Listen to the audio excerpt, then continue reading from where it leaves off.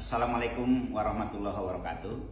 Di siang hari ini saya Kairudin Simanjuntak, anggota DPRD Provinsi Sumatera Barat yang mewakili daerah Pasaman dan Pasaman Barat sengaja datang menemui abang saya Hardianto, wakil ketua DPRD Provinsi Provinsi Riau dari fraksi Gerindra yang saat ini eh, menduduki wakil ketua DPRD Provinsi Riau.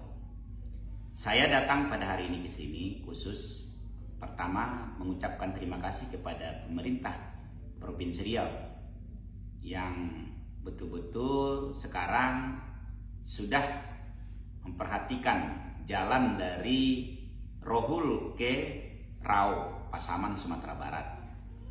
Dan itu pun dulu saya datang hal yang sama meminta tolong beliau supaya dibicarakan antara DPRD Riau dengan pemerintah. Dalam hal ini Gubernur Riau tentunya. Alhamdulillah jalan itu sekarang sudah banyak pembangunan. Cuman kita masih tetap berharap kepada abang saya Hardianto untuk tahun 2023 supaya tetap ada penganggaran ada uang istilahnya untuk jalan tersebut karena masih ada beberapa titik yang belum selancar dari batas Rohul ke Rau Pasaman. Kalau dari Rau ke batas Rohul Rumbai, alhamdulillah sekarang bagus walaupun mungkin ada perawatan-perawatan tapi kami tetap anggarkan dari pemerintah Provinsi Sumatera Barat. Karena kita lihat bahwa jalan ini sangat banyak keuntungannya buat ekonomi, buat pendidikan, dan banyak hal lain untuk perkebunan dan pertanian. Karena banyak warga kita dari Pasaman yang berkebun di Rokan Hulu. Dan juga banyak warga kita yang dari Pasaman menjual ikan ke Rokan Hulu. Begitu juga sebaliknya, warga Rokan Hulu ke Rau. Saya yang orang tua berasal dari tanah Melayu Rokan Hulu tentu juga secara pribadi punya kepentingan yang sangat tinggi di samping juga sebagai mewakili rakyat saya di Pasaman itu. Untuk itu kepada Abang Anda Siap. mohon eh, mengawal atau memberikan juga uang untuk jalan tersebut. Itu kira-kira Abang Anda. Mudah-mudahan luar biasa ini. Kami juga dari DPRD Provinsi Riau mengucapkan terima kasih dan apresiasi kepada abang saya, Bang Khairuddin Simajunta. Nah, putra Riau, putra Rokan Hulu, tapi berhasil berkarir politik jadi anggota DPRD Provinsi Sumatera Barat, daerah pemilihan Pasaman-Pasaman Barat ini luar biasa. Dan kami ini bangga bukan hanya ke beliau putra Riau, tapi beliau juga konsisten berjuang atas nama dapil dan masyarakat Sumatera Barat khususnya di Pasaman dan Pasaman Barat sehingga beliau datang ke sini selain satu rahim juga menyampaikan ya aspirasi atau usulan. Permohonan. Permohonan. Ya se, jangan permohonan bukan permohonan lah tapi aspirasi ya, usulan. aspirasi masyarakat. Ya dan ini ini bentuk dari persaudaraan dan kerjasama dua provinsi dua lembaga antara DPRD Provinsi dan Sumatera Barat yang memikirkan e, memang jalan tembus dari Riau tepat dari Hulu menuju Sumatera Barat yaitu di Pasaman atau Raho dan ini memang separuh-separuh kalau di kita Riau juga merupakan ruas jalan ujung batu Rokan batas Sumatera Barat. Itu memang merupakan kewenangan pemerintah Provinsi Riau.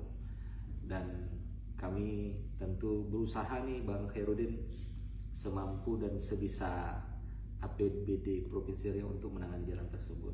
Karena juga jujur kami harus mengatakan dengan segala kerendahan hati kami harus malu dengan pemerintah Sumatera Barat, pemerintah Provinsi Sumatera Barat karena memang eh, ketika kita melewati jalan tersebut informasi yang saya dapat begitu melewati batas Sumatera Barat itu jalan sudah mulus dan bagus sampai ke Pasaman dan ya mudah-mudahan Bang Herudin kalau kami sih berusaha bagaimana kalau tidak bisa kami tangani kalau tidak saya salah saya dari ujung batu sampai ke batas Sumber itu lebih kurang 69 km rasanya. Ya, berbatasan kampungnya Rumbai. Rumbai ya. Nah, kalau kami harus tangani dengan apa namanya secara menyeluruh secara menyeluruh kami harus akui APBD provinsi tak mampu walaupun besar karena begitu banyaknya jalan provinsi yang kondisinya memprihatinkan dan juga harus kami tangani.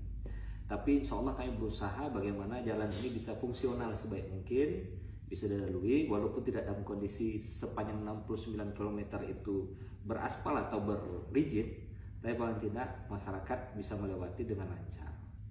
Uh, berarti nanti insya Allah kami akan coba komunikasikan dengan dinas terkait terkait bagaimana kondisi jalan tersebut habis itu mudah-mudahan di 2023 tetap ada penanganan pembangunan yang jelas intinya ada anggaran yang kita plotting untuk uh, prioritas terhadap jalan tersebut. Nah bagi kami juga di pemerintah provinsi Riau uh, jalan itu bukan hanya sekedar jalan yang menghubungkan dua provinsi tapi jalan itu juga merupakan jalan yang mungkin insya Allah tadi Bang Herudin sudah menyampaikan jalan itu akan menjadi kunci terkait dengan kehidupan ekonomi masyarakat. Perkebunan lintas perikanan hasil perikanan ya kan? Nah mungkin juga nanti ada barang-barang kebutuhan masyarakat lainnya yang dari Sumatera Barat ke Riau begitu ya sebaliknya. Uh, dan juga sosial budaya nah, keterikatan kekeluargaan. Bahwa akan menjadi kunci jalinan aksesibilitas silaturahim. Karena seperti contoh Bang Herudin berasal dari Rohul tapi berdomisili dan berkeluarga di Pasaman dan tentu keluarga Bang Herudin di Rohul juga banyak. Begitu juga sebaliknya mungkin ada Herudin Herudin yang lain di sana juga sama. Dan mungkin masyarakat Pasaman yang berdomisili di Rokan Hulu sehingga ini menjadi aksesibilitas menjalin silaturahim dan kasih sayang yang ber amin. amin. Nah, jadi mudah-mudahan itu Bang Herudin sekali lagi kami terima kasih banyak. Ini saya saya pribadi harus mengakui dan me memberikan apresiasi yang luar biasa ke beliau secara personal punya konsistensi sebagai salah satu anggota DPRD Provinsi Riau Provinsi Sumatera Barat berjuang untuk negeri beliau untuk rakyat beliau untuk konstituen beliau dan saya pikir sudah layak naik tingkat menjadi salah, salah, salah satu kepala daerah minimal di kabupaten yang beliau wakili. Amin. Oh. Kami ucapkan selamat bang. Iya, makasih. Dan mudah-mudahan Allah meridhoi perjuangan abang sukses dan mudah-mudahan abang juga sukses ke depan. Amin. Amin. Amin. Demikian kami sampaikan dari ruangan Wakil Ketua DPRD Provinsi Riau di Pekanbaru. Assalamualaikum warahmatullahi wabarakatuh. Waalaikumsalam.